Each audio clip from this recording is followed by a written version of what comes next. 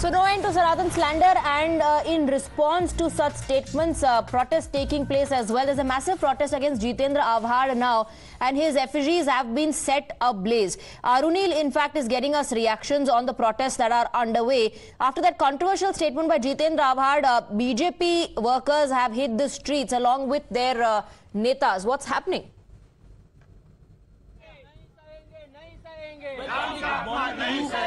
Present, I'm reporting from outside the Ghatkopar police station. This is where the effigies of Award were burned. Uh, Ram Kadam, the BJP MLA, has gone inside to file a police complaint. We'll try to speak to the कार्यकर्ताज who have gathered here as well. आपसे बात करेंगे?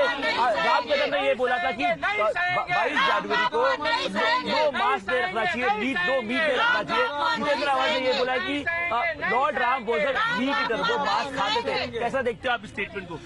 मैं चाहता हूँ श्री राम जी हमारे दैवत है। हम सभी इसी कारण के श्री राम जी मानस रामचरित मानस में लिखा गया है और चौदह साल कंदमूल खा के अपना वनवास पूरा किया उन्होंने। इस चीज़ से बेहदूदी की बातें करके जितेंद्र रावत क्या साबित करना चाहते कि उनके पूर्वज कुछ थे उधर कुछ मालूम है कुछ मालूम नहीं उनको।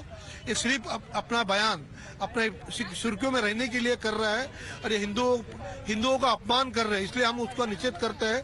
उनके अटक किए उनको अटक किया जाए उनको सलाह के पिजाए जाए। You can see uh, there are BJP Karyakarta Swati who have gathered here. Uh, they have been raising slogans against Jitendra Award particularly and also many of them are saying that India Alliance partners particularly target the Sanatan Dharma. Ram Kadam also basically spoke on the same line saying that it was first challenge fun and then later it was followed by a DMK leader as well. आपसे बात करेंगे Jitendra award statement पे कैसे देखते हो आप इसको ये पूरा पॉलिटिकल स्टेटमेंट है 22 जनवरी को पूरे हिंदुस्तान में राम जी का अयोध्या में पदार्पण हो रहा है और वो उत्सव दीपावली के तरह बनाने का मोदी जी का संकल्प है।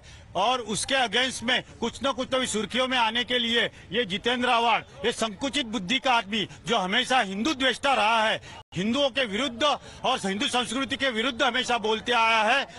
उसका हम निषेध करने के लिए यहाँ आए हैं और जो उन्होंने वक्तव्य किया है उसका कोई प्रमाण किसी भी शास्त्रोक्त पुराणों में नहीं है। उनका हम सलाखों के पीछे जाने के लिए एफ़ आर नोट करने के लिए घटकोपरपुरा स्टेशन आए हुए हैं।